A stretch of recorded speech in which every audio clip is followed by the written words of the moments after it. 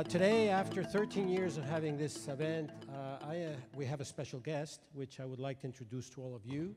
It's President Bobby Robbins, President of the University of Arizona, who would like to just welcome you briefly.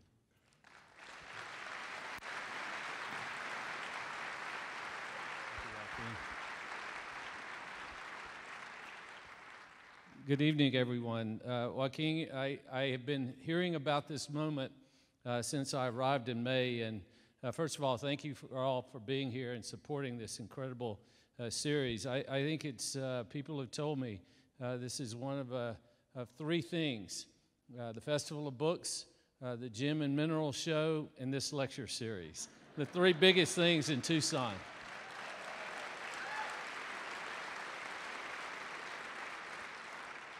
and Stephen and I, you know, I was trying to loosen him up over there because it's got to be pretty intimidating to come out here and, and try to get you all in 50 minutes to understand artificial intelligence and machine learning. Um, but I'm, I'm hoping that, uh, that we made a, a, a, good enough hire. I don't know what the cross section is of people who come to this event and those who attend athletic events, but I hope we, uh, uh, we made a good choice with the football coach, first of all. And You're okay with that. But we, we were both saying, okay, it's time, Joaquin. You've made it to the big time. Next year, you're going to have to do this in McKale, and you're going to fill up McKale because you're, you're bigger than the basketball team. So, congratulations on that.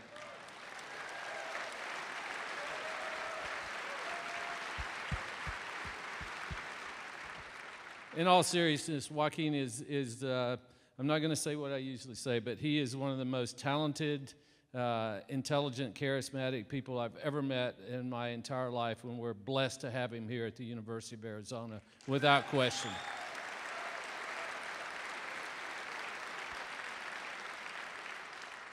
So Stephen's going to tell you all about uh, AI machine uh, learning. I've been talking about the fourth industrial revolution, which is the convergence of biological, uh, digital, and physical science, which uh, we're, we're one of the greatest universities uh, in the world around the physical sciences. So, um, you know, one day uh, in not too distant future, you'll learn over the next uh, couple of uh, weeks through this lecture series, you're going to be able to just take one of these things and take a picture of the mole on the back of your hand and say, Siri, is this a cancer? Yes. And she's going to say yes. And then there'll be a little thing that comes out and takes a biopsy and analyzes all this stuff the last part, it's all contrived, of course, but the first part is real. It's happening now and certainly happening in medical imaging around uh, CT scanners and MRIs.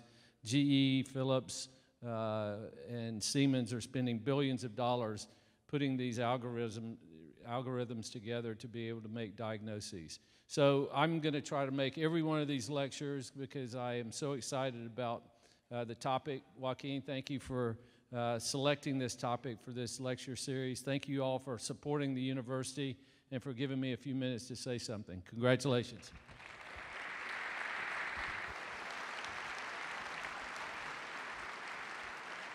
Thank you, President Robbins. And I, as all of you know, uh, this, this kind of operation uh, doesn't come without financial costs. And I, I must thank those individuals and organizations that make it all happen.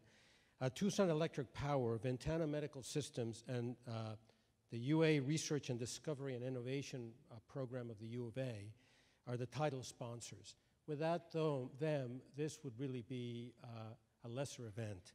And I also thank the underwriters, Accelerate Diagnostics, Arizona Daily Star, Canyon Ranch, Cox Communications, Galileo Circle, which are the individuals in our community that support the College of Science biannual contributions to fellowships and scholarships. Uh, Godot Design, all of the beautiful imagery that you've seen comes from them. Holualoa Companies, the Marshall Foundation, Win uh, and Tebet Patent Law. Raytheon has been a great supporter since the beginning. Research Corporation for Science Advancement, and Tech Launch Arizona. If we could just have a round of applause for these folks.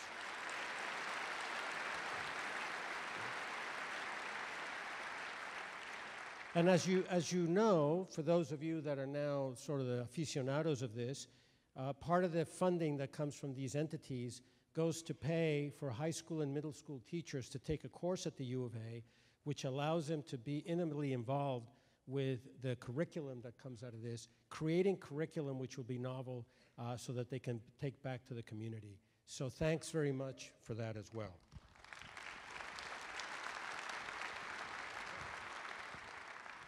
So now I have to introduce a speaker if I can get this done.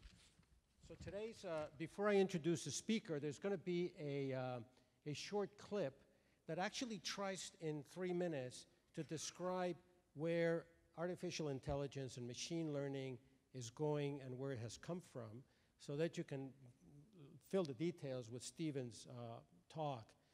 But you know, there's a lot of, lot of people out there, including uh, Bill Gates and uh, others, that argue that artificial intelligence is going to be the end of all.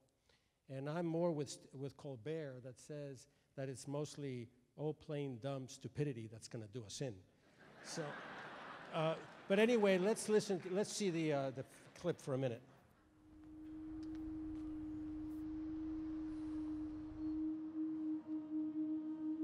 We are wondering what is happening to the world. Everything is changing.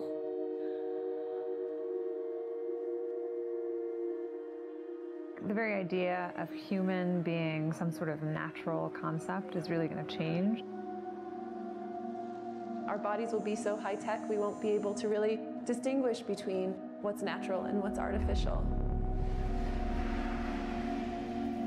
inside our own heads is the most complex arrangement of matter in the known universe. You might ask yourself, can we get to be superhumans?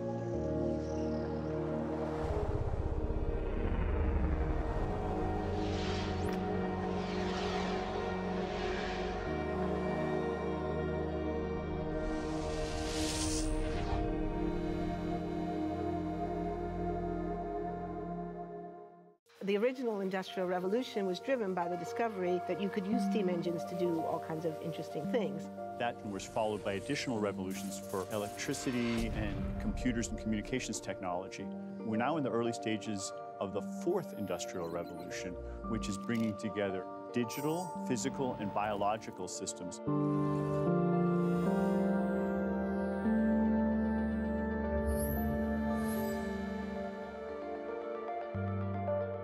Of the features of this fourth industrial revolution is that it doesn't change what we are doing, but it changes us.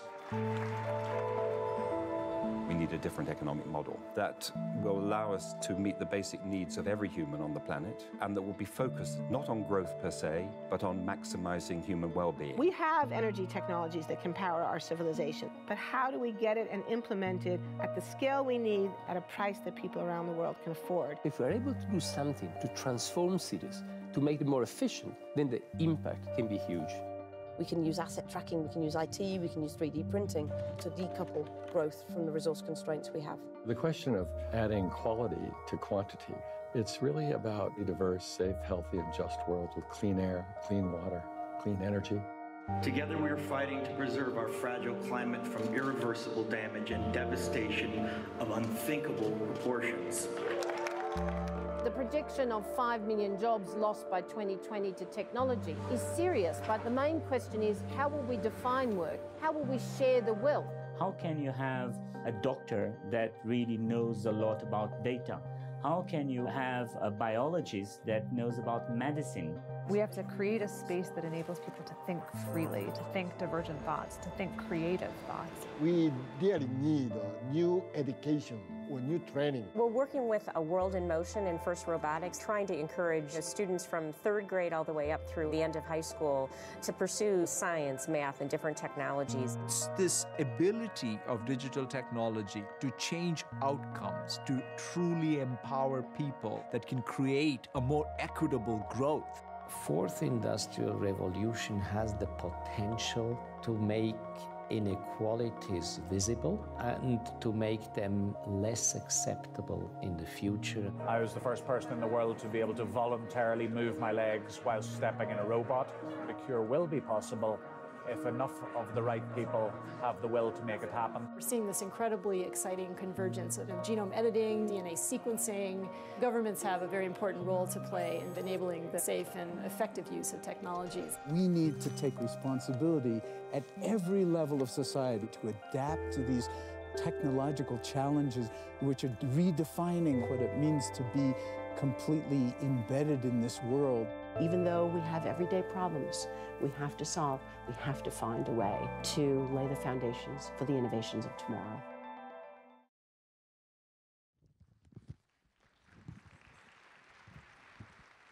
So that's the promise of the fourth industrial revolution. And today, Stephen Kobourov will describe what actually really goes on in those machines that allow us to even think about the possibilities that were described. Stephen is a professor here in the co computer science department. Uh, his bachelor's of science is in mathematics and computer sciences with a minor in classics from Dartmouth. Uh, he has a master's and PhD from uh, Johns Hopkins.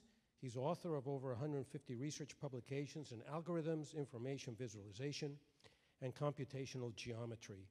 2006 Fulbright to help develop graduate programs in computer sciences at the University of Botswana, and in 2011 to 12 worked in Germany as a Humboldt Fellow. He spent a year in AT&T Research Labs, working in their information visualization group, and in 2015 he was a distinguished Fulbright chair position at Charles University in Prague.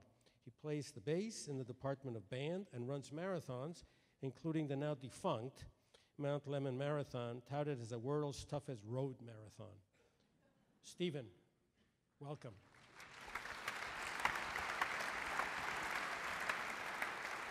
Thank you, Dean Ruiz.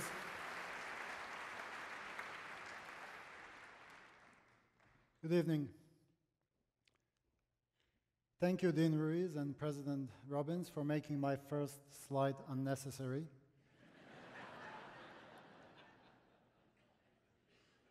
Let's go back in time.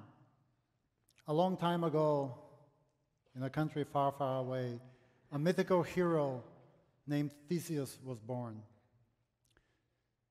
Theseus did the standard hero trials and tribulations. He slayed some monsters, founded the city of Athens, and uh, traveled a lot by ship which was all good because his father was the sea god Poseidon.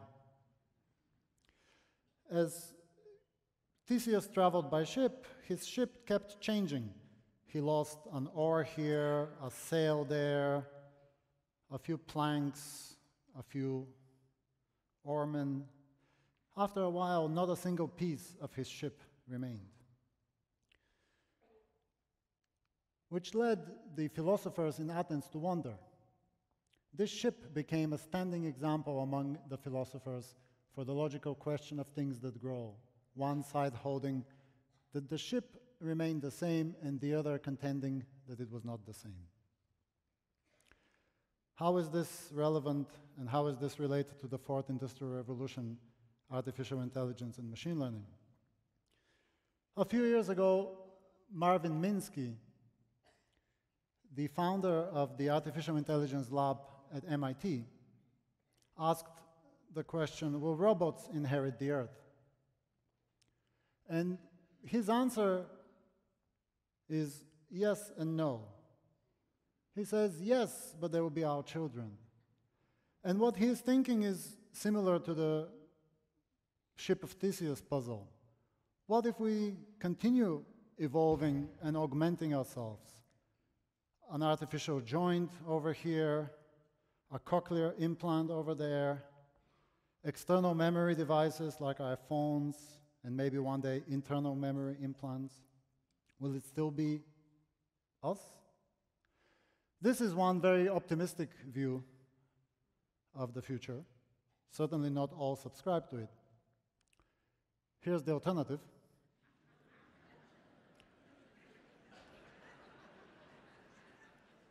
Will our cute little vacuum cleaners grow up to the Terminators of the science fiction movies? Well,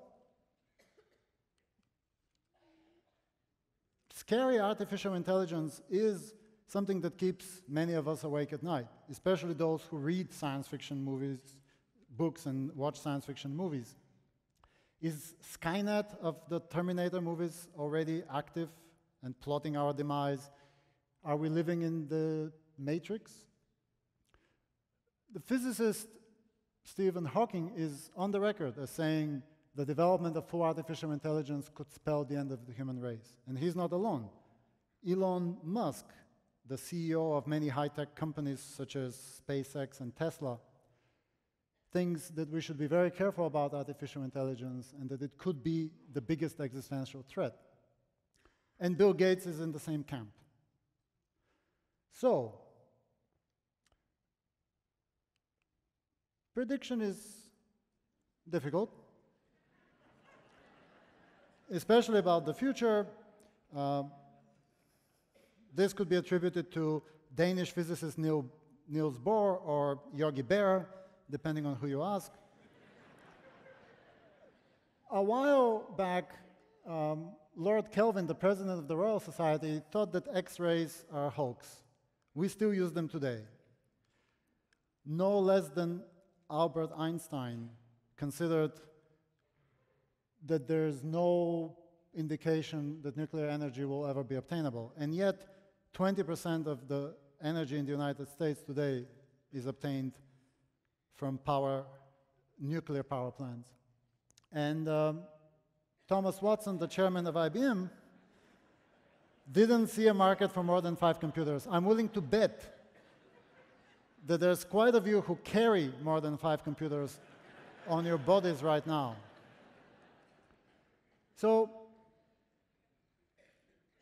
what is going on? Technology used to be understandable and simple.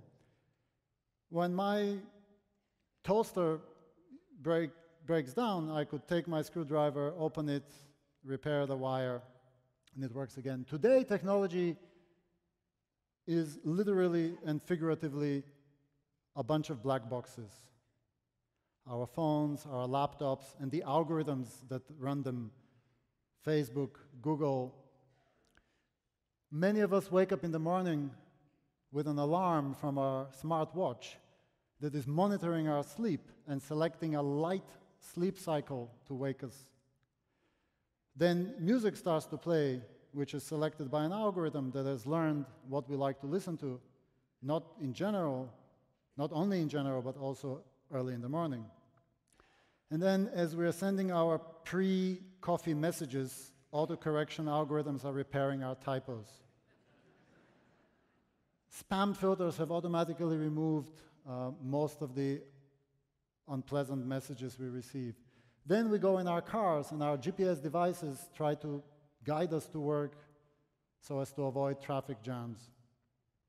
You come back at home and Facebook has found a new friend you completely forgot about. Netflix recommends a movie that you're stunned that you like. So, Arthur C. Clarke, science fiction writer, said that any sufficiently advanced technology is indistinguishable from magic. And when it all works out, it does look like magic. But it's not magic. This is what I'll try to uh, talk about tonight. It is not magic, but algorithms, programs, machines, and data that we have designed, implemented, and made into these black boxes. And in order to do this, in order to understand how these black boxes work, we need to look inside.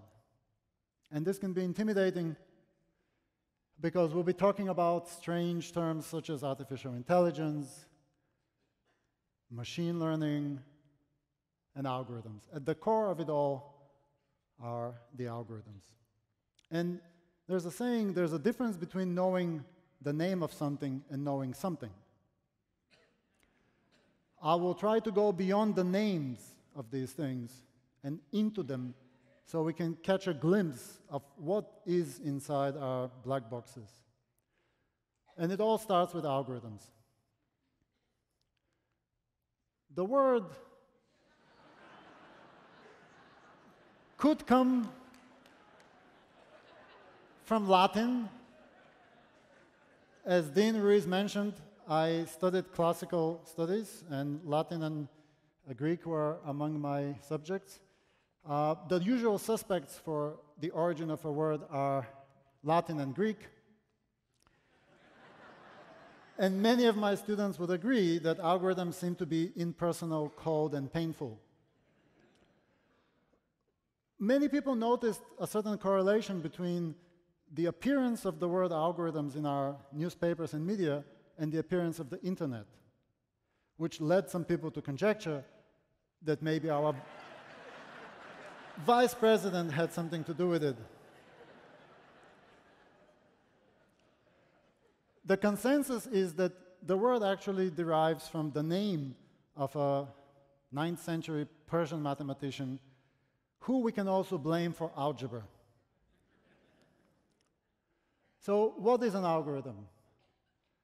An algorithm is a step by step procedure for solving a problem. And very broadly, it's a recipe and like many of us who have followed the recipe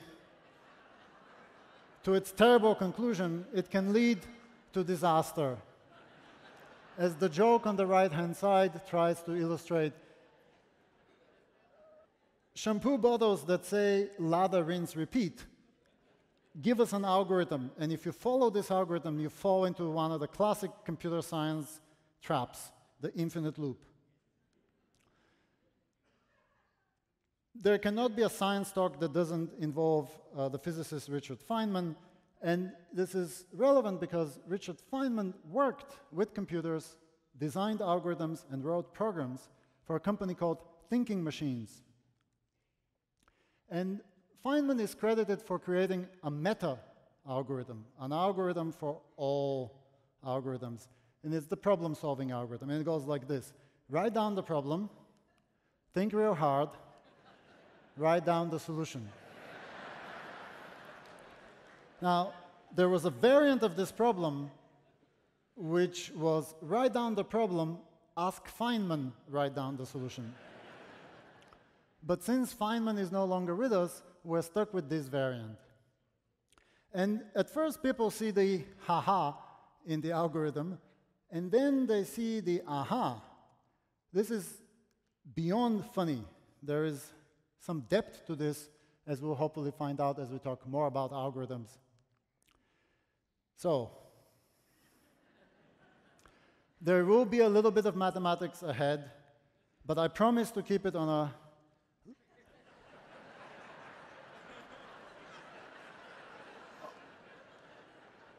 on a reasonable level.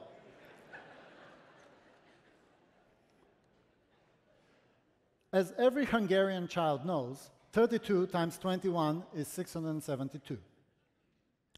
But an algorithm for multiplication is a recipe for multiplying any two numbers and getting the correct answers, not just 32 times 21.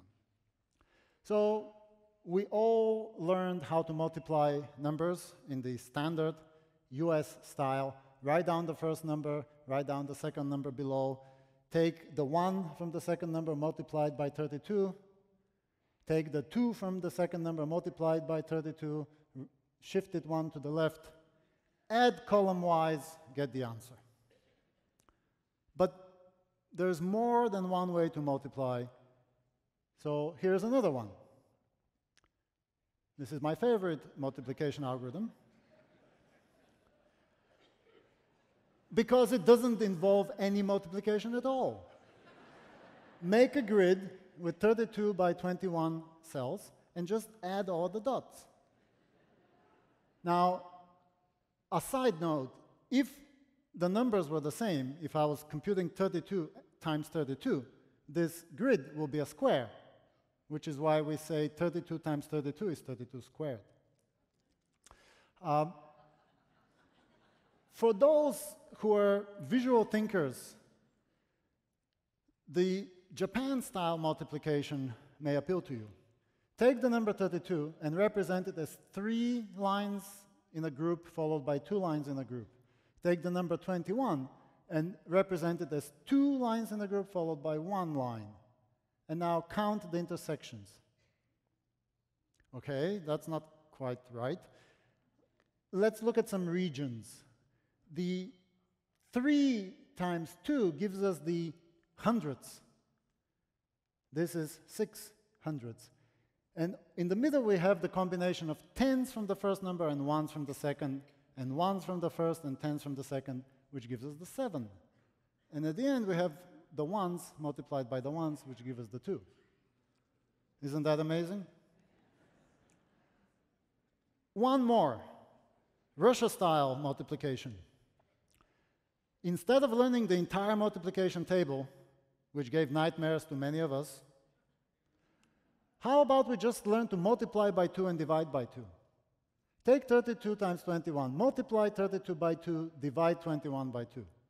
Do it again. Do it again. Do it again. Okay, what have we done? 512 is not the answer because we didn't quite exactly divide by 2. So from time to time, there's these pairs of numbers that are exactly the same. 64 times 10 is the same as 128 times 5, so let's forget about one of them. Similarly, 256 times 2 is exactly 512 times 1. Let's forget about one of them. And now let's add the remaining numbers on the left. 32, 128, 512. Now this may look strange and weird, but in fact, this is the algorithm that our computers use to multiply. Why?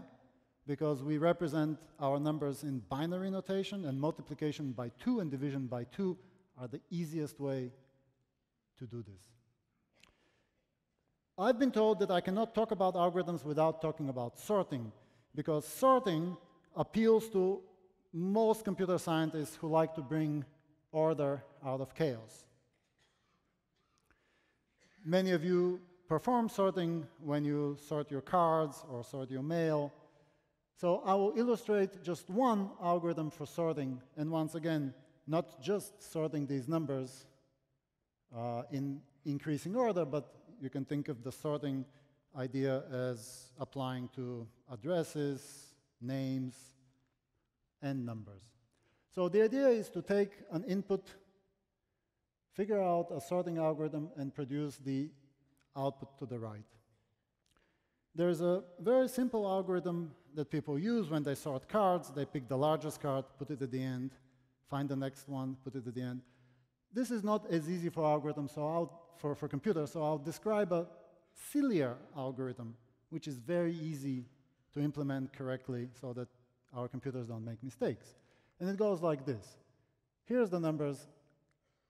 Start looking at pairs from left to right. If you see a wrong order, repair it. 6 is greater than 1, flip it.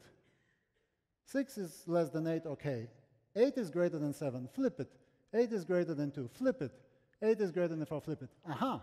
The largest number bubbled to the top. Do it again. 5 is greater than 1, flip it. 5 is less than 6, 6 is less than 7, 7 is greater than 2, flip it, 7 is greater than 4, 7 bubbles to the top.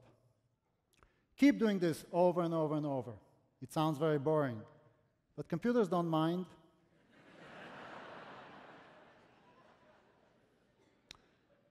okay. Algorithms, examples of algorithms, many different kinds. Why so many different kinds? Why am I making you do math at 7.35 on a nice Monday evening. Because it's important to understand the underlying problem. When we learn just one way to solve a problem, perhaps we don't understand the full complexity of the actual problem. Why do we need so many cooking books? Why do we need so many recipes for chicken soup? The more we try, the more we understand about what's going on, and the better we are at actually solving the problem. So understanding the problem is fundamental. One of my favorite writers, Kurt Vonnegut, uh, said that his principal objection to life is that it is too easy to make perfectly horrible mistakes. When solving problems, when we're designing algorithms and implementing them, it's even easier to make horrible mistakes. And when we do make such mistakes, you all hear about it. Y2K. It cost billions of dollars to fix. The Mars orbiter crashed due to two different groups using one using metric units, meters and centimeters, the other using imperial units, feet and inches. And my favorite mistake, Gangnam style, which broke YouTube because YouTube didn't anticipate that so many people would like to watch any movie, any video. Um, I would like to point out that it is very easy to blame the algorithms, but we wrote the algorithms. And with that caveat, after mentioning Gangnam Style, I have to show you. Open Gangnam Style.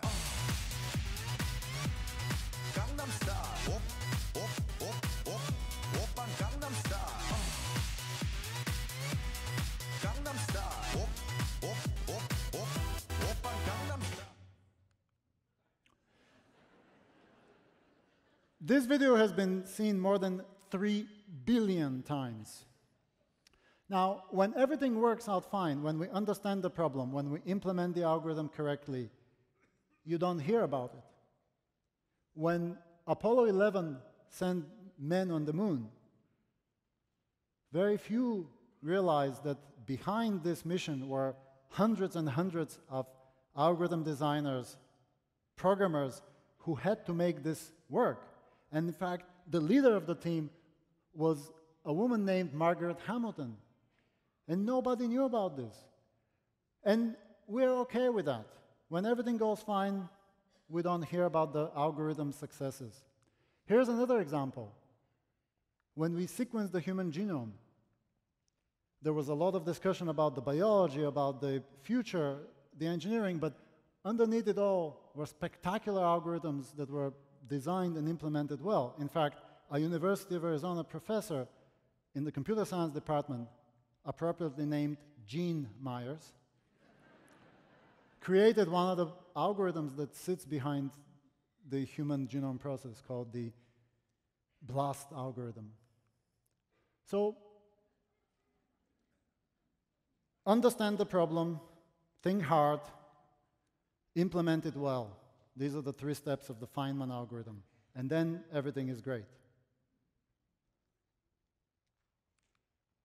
This is what people believed not so long ago. In about uh, 118 years ago, the preeminent mathematician of the time posed a list of 23 questions, which he thought were the most important questions in mathematics.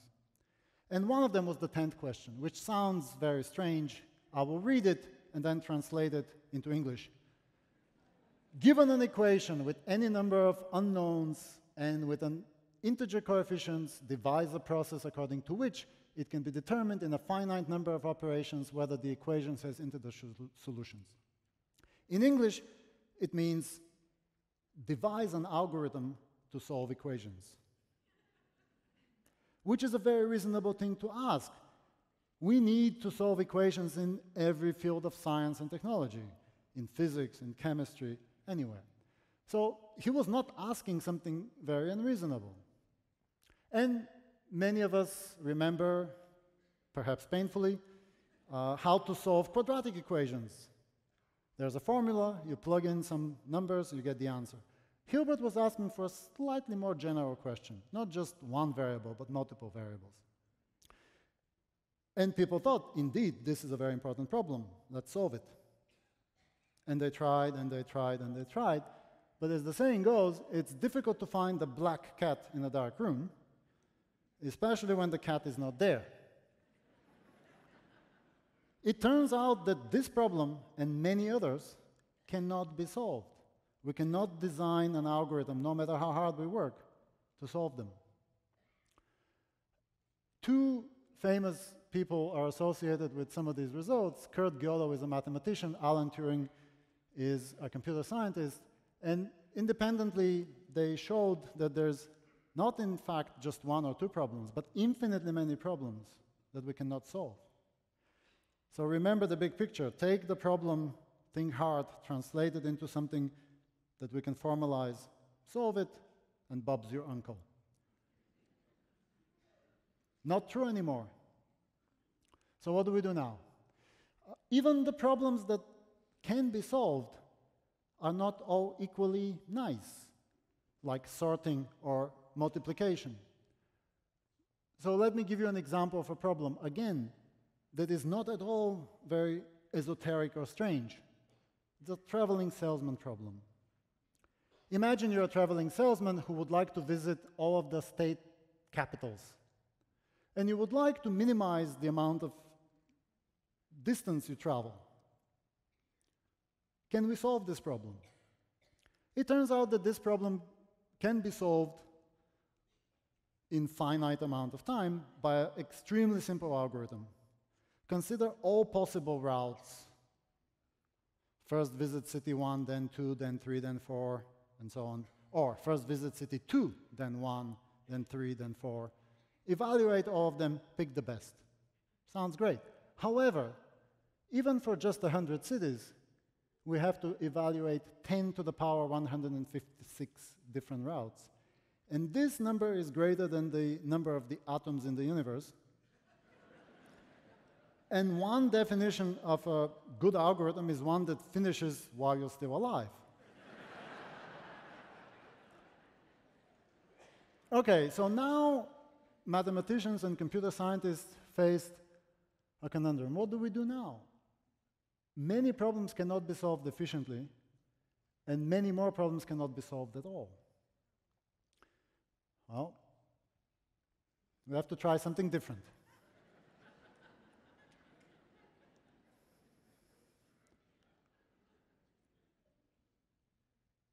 An example of something different are machine learning algorithms. So what is this different idea?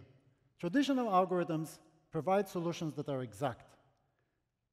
32 times 21 is 672, not about 600. But what if we're willing to tolerate about 600? Then we get to algorithms that give us good enough answers, which explains why computer science is the only industry where you can make billions of dollars making things that mostly work.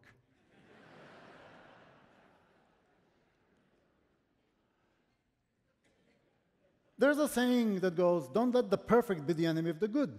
So, good enough is better than nothing. If we want the exact solution for many problems, we cannot get it. So let's try to get something that's good enough. So what is the idea behind machine learning? Instead of designing the algorithm that takes us from the input to the output, we'll try to learn what the algorithm is that takes us from the input to the output. Let's look at many, many, many examples and try to guess what's going on underneath.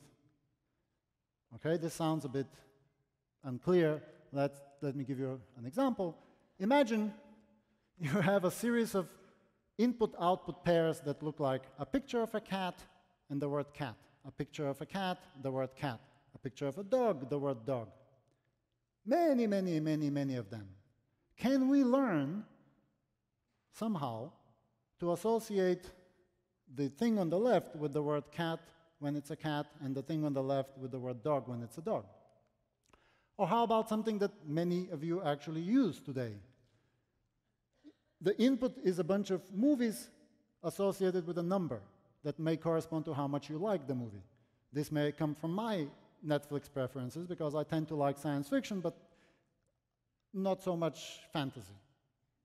So after many, many, many examples of input-output pairs, can we figure out when a new movie comes in whether I'll like it or not? So machine learning algorithms are different in that they are supposed to improve with experience. And this is based on using very fast computers, statistical analysis, and many, many, many examples. And this is, in fact, where big data comes in. and in a couple of weeks, Nirav Merchant is going to talk about the implications and applications of big data. But today, I will show you just a little bit. There's a saying that goes, give a man a fish, he'll eat for a day. Teach a man a fish, he'll eat for a lifetime. What if we give a machine a fish? I will show you a machine learning algorithm in action. The machine learning algorithm is going to try to figure out what I'm drawing, really, what I am drawing with my mouse on my screen. I recorded it, and there's supposed to be a video in there, which hopefully works. And um, um, you will hear the machine guessing as I'm drawing. And I will be quiet while this is happening. So, you can all try this if you enjoy it. It's called Quick Draw! Exclamation mark.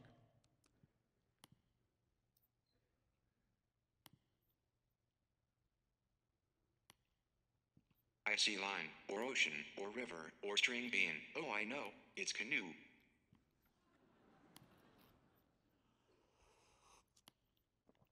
I see line, or arrow, or string bean, or seesaw. I see rake, or pliers. Oh, I know, it's bow tie. I see party hat, or triangle, or water, or pants. I see vase, or lock, or floor lamp, or umbrella, or hammer. I see house, or barn, or bucket, or satellite. Oh, I know, it's mushroom.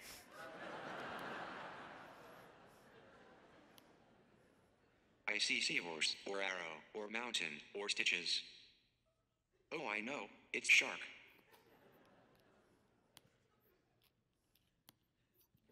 I see stairs, or line, or keyboard, or bench, or pillow. I see sleeping bag, or pencil. Oh, I know, it's stereo.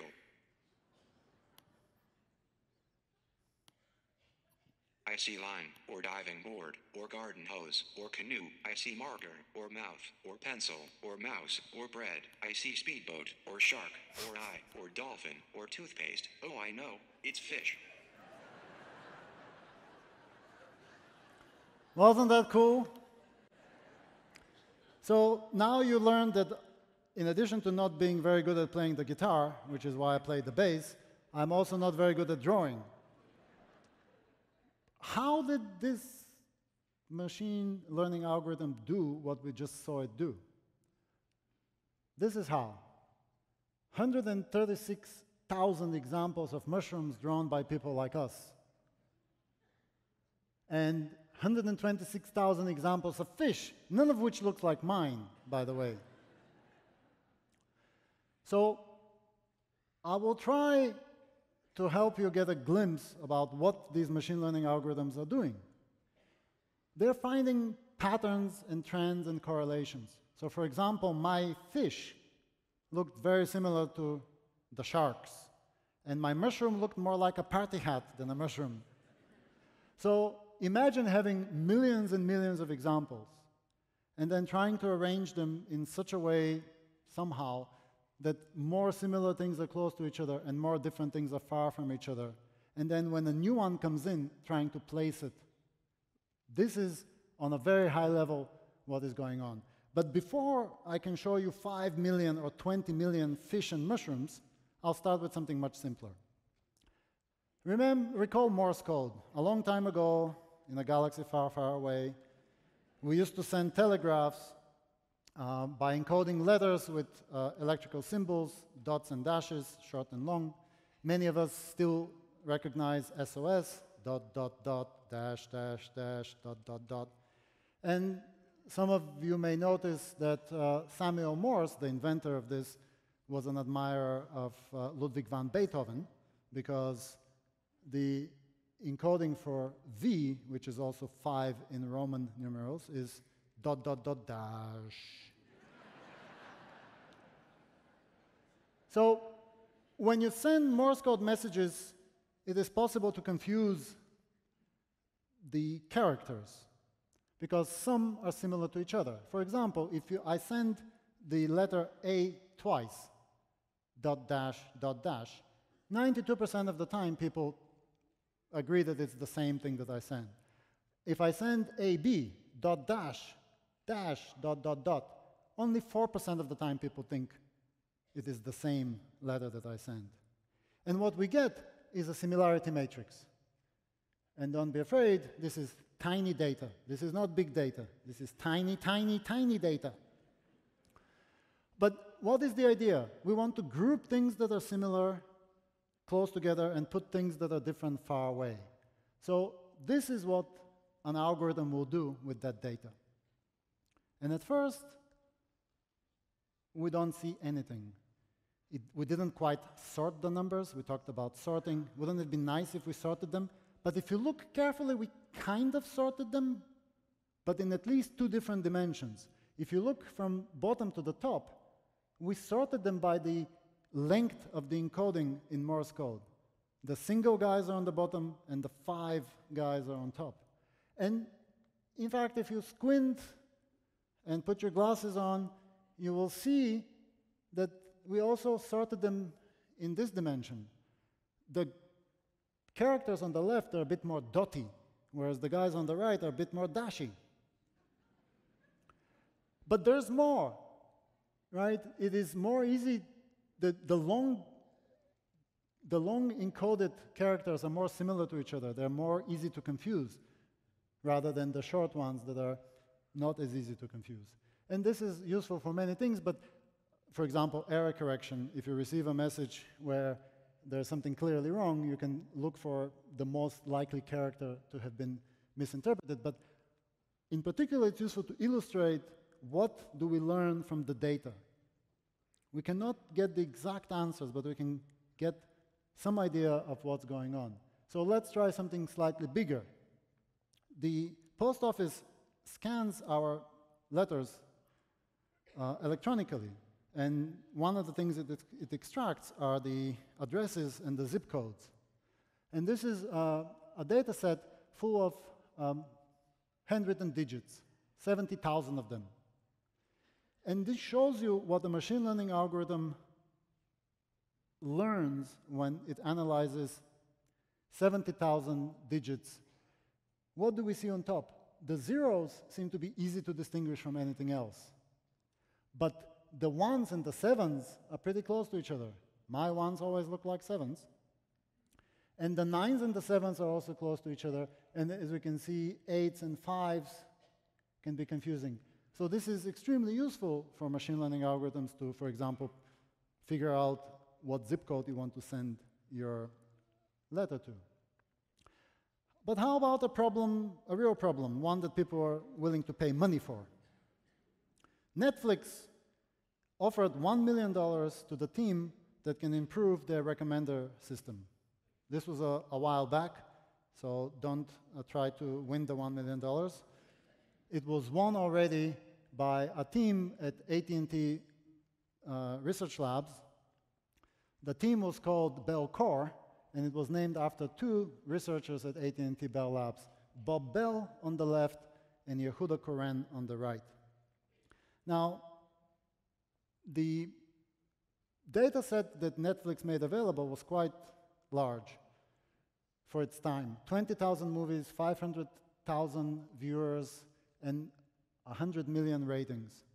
And the idea was can we improve the recommendation system over what Netflix was already using as its in house algorithm? The history is uh, slightly entertaining. The data was released on the 2nd of October, and it took exactly six days for the first team to improve on the Netflix in house algorithm. And it took about a year to get uh, a certain amount of improvement over the algorithm, 8.4%. I joined AT&T um, in 2008, um, AT&T Research Labs, and um, talked with these guys and they told me a somewhat entertaining story. When they wanted to participate in the challenge, the AT&T management told them that uh, they shouldn't because AT&T is not interested in recommendation business. What does AT&T have to recommend? Good um, decisions don't make good stories, bad decisions do. The next year, AT&T started to deliver television over cable to compete with companies who were delivering telephone service over cable. And very quickly, they amassed a data set which was even larger than the Netflix data set. And it was even harder because whereas Netflix provided us information about what movies people like and what movies they don't like, from the TV data set, we only had information about what people have watched.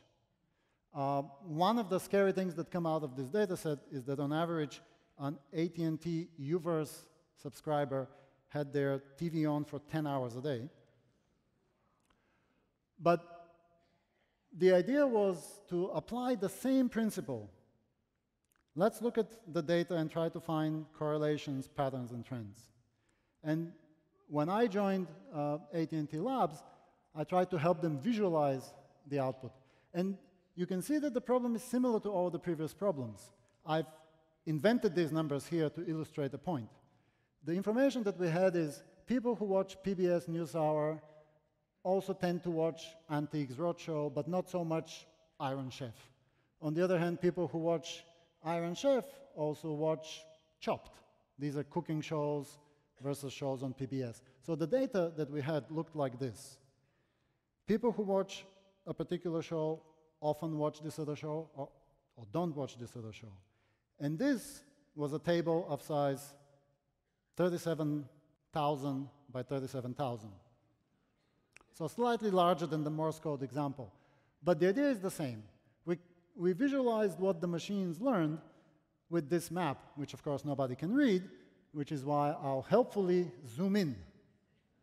On the top, very top, where the black box is, we discover a group of shows that are very much kids' shows. There's Disney's Mickey Mouse, Clubhouse, there's Harry Potter. Okay, if we go all the way to the bottom, we discover home improvement shows on different channels with challenging and um, uh, provocative names such as Property Virgins and Desperate Landscapes. Right next to them uh, is a region which we named, labeled Hungry because it is mostly cooking shows such as Chopped, Iron Chef, etc. The news got split into several different areas, and on the left, completely coincidentally, you have to take my word for it, on the left ended up uh, shows such as CNN Newsroom, Anderson Cooper, Larry King Live. You can tell this is old data set. But also, if you look up, The Daily Show with Jon Stewart and The Colbert Report. Now, on the right, I swear completely coincidentally, we ended up with a disjoint group of people who watch uh, Fox News Sunday with Chris Wallace, Fox and Friends, but also in the top left of the same group, um, Live from the Masters, Golf Central, Mad Money, and Fast Money. And of course, on top, in an island, separate from everybody else, is a group of shows that I bet you somebody can tell me what's the common theme. Barney and Friends, Sesame Street, Antiques Roadshow, NewsHour with Jim Lehrer. PBS. Okay, so what did we learn from the data? That there are some patterns and trends. For example, in the horizontal dimension, we seem to be capturing age. Certainly, kids are not watching cooking shows and home renovation shows, and certainly not many adults are watching Harry Potter and uh, Disney Mickey Mouse Clubhouse. But this was also useful to see how our recommendation algorithms are working. Are they doing the right job or not? So, a very important caveat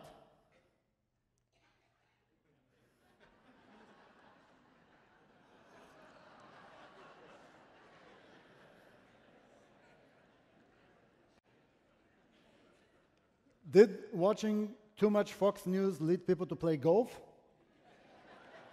or did CNN, was CNN headline news the gateway to the Jon Stewart show? Correlation does not imply causation, but this correlation is what machine learning algorithms pick on. And this is why we have to be careful for problems like this. When the hurricane approached Florida in September, prices shot through the roof. And the headline, not in the Daily Mail, but in an NPR, said, Algorithms show no sympathy. The algorithms learned that people are willing to pay more money to get out of Florida. Turns out algorithms are racist. when an algorithm helps send you to prison, In, a, in three weeks, Jane Bambauer is going to talk about biases in our data. If you feed biased data in, biased results come out. There's a saying in computer science that goes garbage in, garbage out. So we made these algorithms, and we should be aware that these biases exist. So we went from algorithms to the new algorithms, and now we've reached AI. What is AI? Artificial intelligence technically is concerned with the theory and, and development of computer systems that are capable to perform tasks that we associate with human intelligence. John McCarthy coined this term, AI, in 1955, while he was at my alma mater, Dartmouth. Later on, he went to MIT and Stanford. And he thought that this was not the right term because it set the expectations too high and it doesn't really capture what we're talking about. Perhaps mimicking intelligence is more accurate. From the time of Icarus and Daedalus, going back to the ancient Greeks, people have tried to fly. There's many illustrations of Icarus and Daedalus with wings made out of feathers. Leonardo da Vinci drew winged machines. And in the end, we did build airplanes which have wings. But airplanes are not birds. Similarly, we've always wanted to build swimming machines. There's excellent swimming machines called fish and sharks. And if I draw them, they look exactly the same. but submarines, which is what we build, are different from fish and sharks. So artificial intelligence is neither artificial nor intelligent. It's different. And the best way that I have seen to describe what artificial intelligence is, is that it's an aspirational term. It reflects a goal. And the goalposts keep moving. Initially, people thought, what are the hardest things we can do? Playing chess is very hard. I bet you we cannot make a machine that plays chess. Well, Deep Blue was a machine built to play chess, and it beat the world champion Garry Kasparov. And then people said, but wait, what about Jeopardy? Jeopardy seems to be even harder than chess because you need to connect historical facts with trivia, with wordplay. Bet your machine cannot do that. Well, IBM Watson beat the Jeopardy champion. So currently,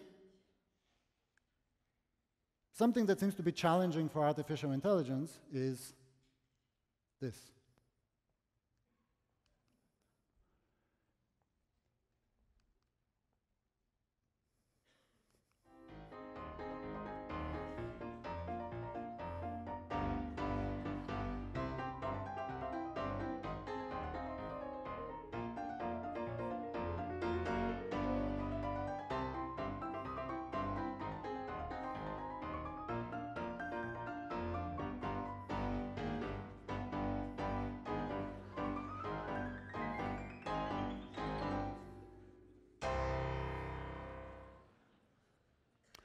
This is the state of the art robots not too long ago in 2015, and they're having a hard time walking.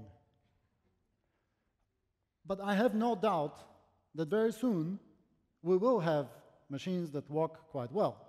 In fact, I have no doubt that we'll have machines that run quite well. I have no doubt that there will soon be a machine that can beat men in running. The Rome Marathon has a very nice uh, motto. It says, Curro ergo sum, which translated in English means, I run, therefore I am. If this was the goal, I have no doubt we'll get there. But Descartes said, cogito ergo sum. I think, therefore I am. Not I run, therefore I am. So can our machines think? Will they turn into Hal from 2001 Space Odyssey? This is a question that Alan Turing, my favorite computer scientist, asked in 1950, way before any machines were actually having the potential of thinking. And this is the first sentence in his essay called Computing Machinery and Intelligence. Can machines think? And he proposed several objections, and then he tried to address them one by one. For example, the God objection. Thinking is a function of a man's immortal soul. God has given an immortal soul to every man and woman, but not to any other animal or to machines. Hence, no animal or machine can think. Turing's answer is quite nice. Should we not believe that God has freedom to confer a soul on an elephant if he sees fit? Who are we to tell God what he can do? This is not the right objection to thinking machines. How about the head in the sand objection? The consequences of machines thinking would be too dreadful. Let's hope and believe that they cannot do so. His answer is just as relevant now as it was 68 years ago. This argument is not sufficiently substantial to require refutation.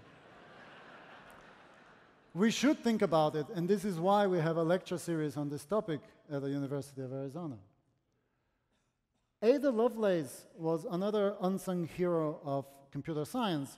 She is credited as the first programmer. She worked in the 1800s with Charles Babbage on his um, engine, and uh, she designed the first algorithms and implemented them. And she is uh, credited as saying, a machine has no pretensions to originate anything.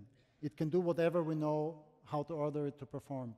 A machine can never really do anything new.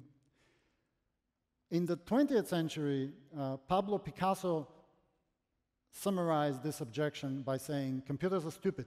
They only give you answers. but I will paraphrase a quote from our President Bill Clinton who said, it depends on what your definition of the word is, is. it depends on what your definition of the word originate is. Some of the algorithms that we've talked about today challenge the question that machines cannot originate anything. So what did Turing actually write in his paper? I highly encourage you to read it. It's eminently readable 68 years later. He carefully, just like Marvin Minsky, dodges the question by saying, basically, intelligence is as intelligence does. So, along the way, in the same paper, he created something he called the imitation game that many of you now know of as the Turing test. And so far, no machine has passed the Turing test. So I left one objection from the paper for the end the argument from consciousness. Not until a machine can write a sonnet or compose a concerto because of, because of thoughts and emotions felt, and not by the chance flow of symbols, could we agree that a machine equals brain. That is, not only it, but know that it had written it. And this one is worth thinking about. And I hope Mihai Surdeanu will be able to tell us the answer next week. Thank you.